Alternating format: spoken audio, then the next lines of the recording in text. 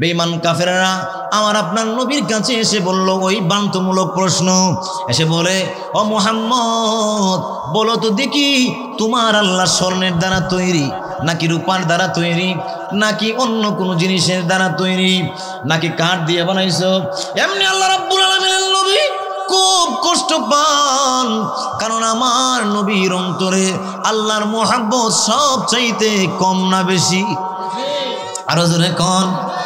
আমার নবীর অন্তরে আল্লাহর মোহাব্বত সবচেয়ে বেশি হওয়ার কারণে আল্লাহ রাব্বুল আলামিন, আলামিনের নবী এরকম উদ্ভট প্রশ্নের কারণে ব্যতীত হইতেছিলেন।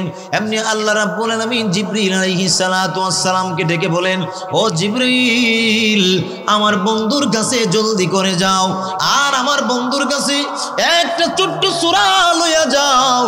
আমার বন্ধুকে জানায়া দিবা, আমার বন্ধুকে জানায়া দিবা। আমি আল্লাহ রাব্বুল আলামিন আবার সংক্ষিপ্ত পরিচয় দিয়া আমি মহান আল্লাহ পবিত্র কোরআনের ছোট্ট একটা সূরার ভিতরে সমস্ত বেঈমান কাফেরদের প্রশ্নের জবাব দিয়া এই সূরা নাজিল করেছি। আল্লাহ রাব্বুল আলামিন বেঈমান কাফেরদের সমস্ত প্রশ্নের জবাব দিয়া ছোট্ট একটা সুরা, সূরাতুল ইখলাস নাজিল করে বেঈমান কাফেরদের সমস্ত প্রশ্নের উত্তর দিয়ে দিয়েছেন। জোরে কান আল্লাহু আকবার। ছোট্ট একটা সূরা অথচ বেঈমান কাফেরদের সমস্ত প্রশ্নের উত্তর এই সুরার ভিতরে আল্লাহ রাব্বুল আলামিন দিচ্ছেন এখন জানার দরকার আছে না নাই? আমার আল্লাহর পরিচয় জানার দরকার আছে না নাই? আমার আল্লাহ কেমন? আমার আল্লাহর পরিচয় কি হবে? আল্লাহ রাব্বুল আলামিন আমার তেলাওয়াত কিন্তু সূরার প্রথমের মধ্যে বলেন, কুল হুয়াল্লাহু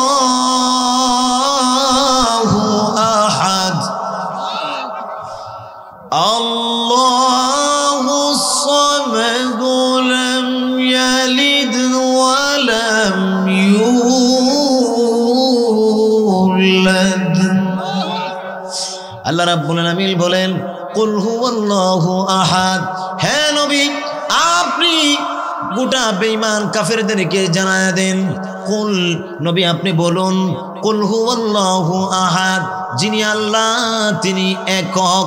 সুবহানাল্লাহ, জোরে কোন। আল্লাহ হলেন একক। আল্লাহ একক কেন? আল্লাহ এক বললেন না, কারণ একের পরে দুই আছে। দুই আছে না নাই? আল্লাহ রাব্বুল আলামিন বলেন, যিনি আল্লাহ, তিনি একক একক। একক মানে আল্লাহর অদ্বিতীয় আল্লাহর সাথে কেউকে সাদৃশ করা যায় না। আল্লাহ রাব্বুল আলামিনের সাথে কারও তুলনা হয় না, হতেও পারে না। আল্লাহ রাব্বুল আলামিন বলেন, আমি আল্লাহ এমন আল্লাহ, আমার সাথে কারও তুলনা চলে? হ্যাঁ নবী, আপনি বেঈমান কাফেরদেরকে জানায়া দেন, কুল হুয়াল্লাহু আহাদ। নবীজি, আপনি বলুন, আপনি জানায়া দেন, যিনি আল্লাহ, তিনি একক। এক নম্বর কথা হলো, আল্লাহর এক নম্বর কোয়ালিটি হলো আল্লাহ একক। জোরে কোন ঠিক কিনা? আল্লাহ এক, আল্লাহ যে এক। এই কথাটা আমার না। আল্লাহ নিজেই তার কোরআন শরীফের ভিতরে বলেছেন। এক নম্বর হলো, আল্লাহ রাব্বুল আলামিনের কোয়ালিটি, আল্লাহ এক। আল্লাহ ছাড়া কোনো মাহবুদ নাই। এই কথাটা আল্লাহ রাব্বুল আলামিন পবিত্র কোরআন শরীফে সূরাতুল বাকারার আরেক আয়াতে লম্বাভাবে বিস্তারিতভাবে বলেছেন। আল্লাহ রাব্বুল আলামিন বলেন, আল্লাহু লা হ্যাঁ গোটা পৃথিবীর মানুষেরা, ভালো করে জেনে রাখো, আমি আল্লাহ রাব্বুল আলামিন ছাড়া কোনো মাবুদ নাই। আল্লাহু ইলাহা ইল্লাহু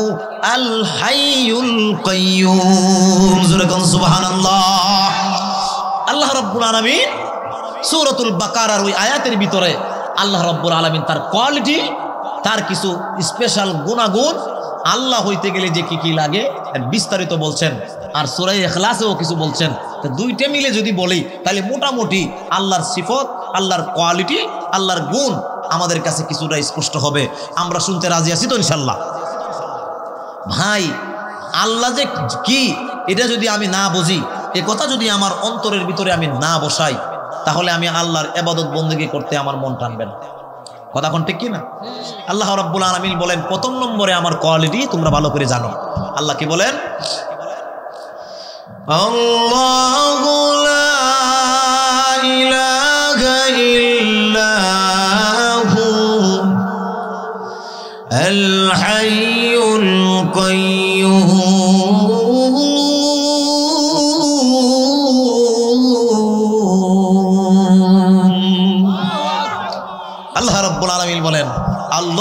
ইলাহা ইল্লাহু। আল্লাহ ছাড়া কোনো উপাস্য নাই, আল্লাহ ছাড়া কোনো মাহবুদ নাই। কেন? এই দাবি তো যেই সেই করতে পারবে না। আল্লাহ বলে, গোলামি যদি করো, আমার করবা এবাদত যদি করো, আমার করবা। কেন? কারণ আমি ছাড়া কোনো মাহবুদ নাই। এলাহ নাই, উপাস্য নাই, হতেও পারে না কেমন পর্যন্ত হওয়ার সুযোগ কেন?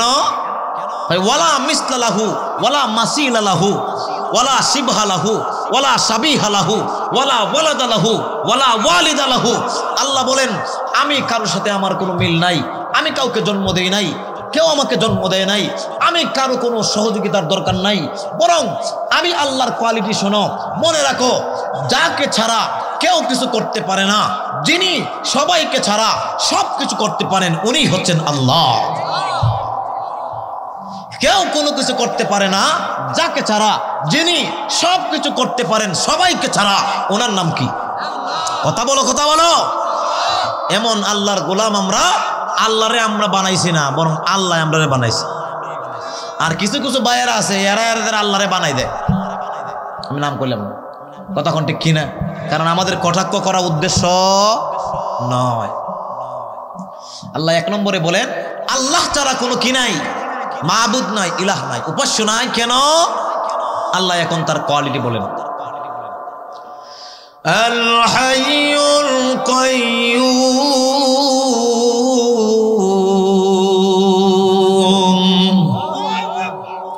আল্লাহ রাব্বুল আলামিন বলেন আমি সারা কোনো মাহবুদ নাই কেন?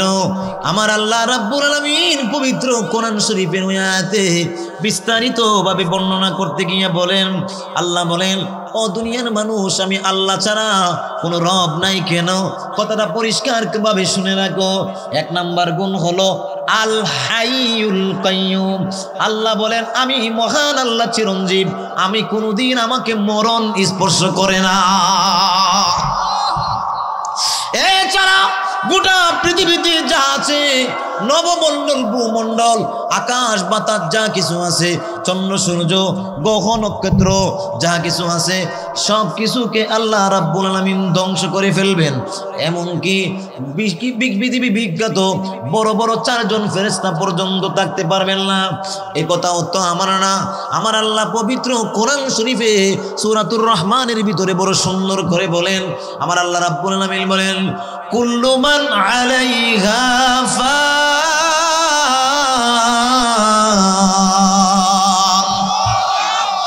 ويبقى وجه ربك ذو الجلال والإكرام.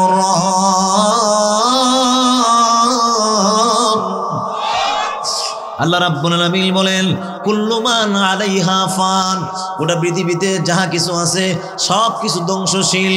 ওয়ায়াবকা বাকি থাকবেন রব্বিকা দুল জালালি ওয়াল ইকরাম যিনি আপনি আমাদের রব, জালালি ওয়াল ইকরাম, যিনি সম্মানিত, মর্যাদাবান, এমন রব সারা গোটা পৃথিবী আল্লাহ ধ্বংস করে ফেলবেন। শুধু তাই না, আল্লাহ রাব্বুল আলামিন গোটা পৃথিবীর ভিতরে সব কিছুকে ইসরাফিলের সিঙ্গার মাধ্যমে আল্লাহ রাব্বুল আলামিন ভেঙ্গে ফেলবেন। আল্লাহ রাব্বুল আলামিন কেমন ভাবে ব্যাং ভাঙবেন? ইসরাফিলের সিংহায় ফু দেওয়ার পরে গোটা পৃথিবীর ভিতরে সব কিছু ব্যঙ্গে আল্লাহ রাব্বুল আলামিন পানি আর পানি করে ফেলবেন। সব পানি আর পানি হয়ে যাবে। তাফসীরের কিতাব মোতালা করলে কথাটা বড় পরিষ্কার করে পাওয়া যায়। সব যখন পানি পানি হয়ে যাবে। ইসরাফিলের সিঙ্গার বিকরতার কারণে গোটা পৃথিবীর পানিগুলো আগুন হয়ে যাবে। যেরকম কি হবে? আগুন হয়ে যাবে। কোন কোন তফসিরের কিতাবের ভিতরে লিখেছেন, আগুনের মাধ্যমে আল্লাহ রাব্বুল আলামিন হাসরের মাঠের ভিতরে বাউন্ডারি দিবে। কথা বুঝছেন ভাইরা আমার, আসর নিয়ে আমার আলোচনা না। আলোচনা করলে কিছু তথ্য আসবে। কিন্তু আমি মেইন কথাটা বুঝাইতে চাই। কোন কথা? আল্লাহ যে সব ধ্বংস করবে। আল্লাহ রাব্বুল আলামিন বলবেন, সব কিছু ধ্বংস করার পরে ময়দানে মহাসুর যখন কায়েম হবে? তখন আল্লাহ রাব্বুল আলামিন সূর্যকে পর্যন্ত ব্যঙ্গে জাহান্নামের ভিতরে নিক্ষেপ করবেন। কোন কিসের কে সূর্য। সূর্যকে ব্যঙ্গে জাহান্নামের ভিতরে নিক্ষেপ করবেন। এবার লোকেরা বলল, কেন সূর্যকে জাহান্নামের ভিতরে নিক্ষেপ করা হবে? তার কারণ হলো, সূর্যের পূজা দুনিয়ায় অনেকে করছে, কি করে নাই? কথা বল না সূর্যের পূজা করছে। চন্দ্র সূর্যের জীবনী, তার কক্ষপথে চলতে গিয়া একটা গুণাও তার জিন্দগিতে নাই। জীবনে গুণা করার সুযোগ নাই, কারণ তার নির্দিষ্ট কক্ষপথ আছে। ওই দিকে যায়, চন্দ্র সূর্যের ডিউটিটা আগে শোনেন। তফসিলের কিতাবের ভিতরে লেখা আছে, চন্দ্র সূর্যের ডিউটি হলো সকালবেলায় উদিত হওয়া লাগে, আবার অস্ত যায় সন্ধ্যাবেলা। এর ভিতরে তার কোনো গুণা করার সুযোগ নাই, তার নির্দিষ্ট কক্ষপথ আছে। এরপরে বাকি সময়টা সে মহান আল্লাহ রব্বুল আলমিনের কুদরতি পায়ে সেজদা করে। বলেন না, কি করে? সেজদার মধ্যে তসবি আছে। আপনি আমার মতো সুবাহান রব্বিয়াল আলা এই তসবি সূর্যের না, সূর্যের তসবি হলো ও মাহবুদ আগামী কালো কি পূর্ব দিকে উদয় হব না পশ্চিম দিকে? আল্লাহ রাব্বুল আলামিন বলেন, চলতে থাকো পূর্ব দিকে উদয়, পশ্চিম দিকে মস্ত। এমন একটা দিন আসবে যেদিন আল্লাহর আদেশে পূর্ব দিকে আর সূর্য উদয় হবে না, পশ্চিম দিকে সূর্য উদয় হবে। তখন আর তওবা কবুল হবে না। মূল যে কথা আমি আপনাদেরকে বুঝাইতে চাই আল্লাহ রাব্বুল আলামিন বলেন, আল হাইয়ুল কাইয়ুম। আল্লাহ রাব্বুল আলামিন বলেন, আমি হচ্ছেন চিরঞ্জীব, আমি আল্লাহর মরণ নাই, আর আমি আল্লাহ ছাড়া গোটা পৃথিবীতে যা আছে সব কিছুর মরণ আছে না নাই? জোরে বলেন। মরণ লাগবে কি লাগবে না? যত বড় মাস্তানি হন, আপনার মরা লাগবে কি লাগবে না? সরকারের মরণ নাই। কথা কয় না। মন্ত্রীর মরণ নাই। সুতরাং মন্ত্রী হও আর এমপি হও, আর যত বড় ক্ষমতাধর লোকই হও, কথা বলার আগে হিসাব করে বলবা, না হলে যেদিন মরবা, তখন নেতাগিরি বাইরিয়া ছুটাই লিব কথা কই না ঠিক না? কথা কও ঠিক কিনা? এমন এমন নেতাও আছে, যাদের ইশারা ইঙ্গিতে মাহফিল বন্ধ হয়ে যায়, আর আমাদের এলাকার নেতাদের ইশারা ইঙ্গিতে মাহফিল হয়, নেতায় নেতায় ব্যবধান আছে না নাই? কথা কয় না? আছে না নাই? যে নেতায় মাহফিল বন্ধ করে, এরে বাইরিয়া ছাতা মাতা বানাই ফেলব। কথা কথা কও। আর আমরা এলাকার নেতারা ভালো হয় জন্য আমরা দোয়া করি। কথা কোন ঠিক কিনা? দোয়া আছে না নাই? কেন? এই নেতাগুলো সব ইসলামের পক্ষে। কথা বলেন না। এরকম ইসলামের পক্ষের নেতার দরকার আছে না নাই? আরও জোরে কন। এরকম নেতার দরকার আছে না নাই? ভাইয়েরা আমার, যে নেতা ইসলামের পক্ষে আমরাও তার পক্ষে। আর যে নেতা ইসলামের বিপক্ষে উল্টা হল্লা কইব, জুতাই দিয়ে বাইরে নেতা দিয়ে সাইজ করলিম কথা কোন ঠিক কিনা, ঠিক না? আমাদের এই এলাকার নেতারা সব ইসলামের পক্ষে। কথা কোন ঠিক কিনে? নাইলে মাহফিল হলো কেমনে? এই এলাকার অনেক নেতা আমাদের সাথে বাস পর্যন্ত কালেকশন করছে। তাহলে এরকম নেতার দরকার আছে না না?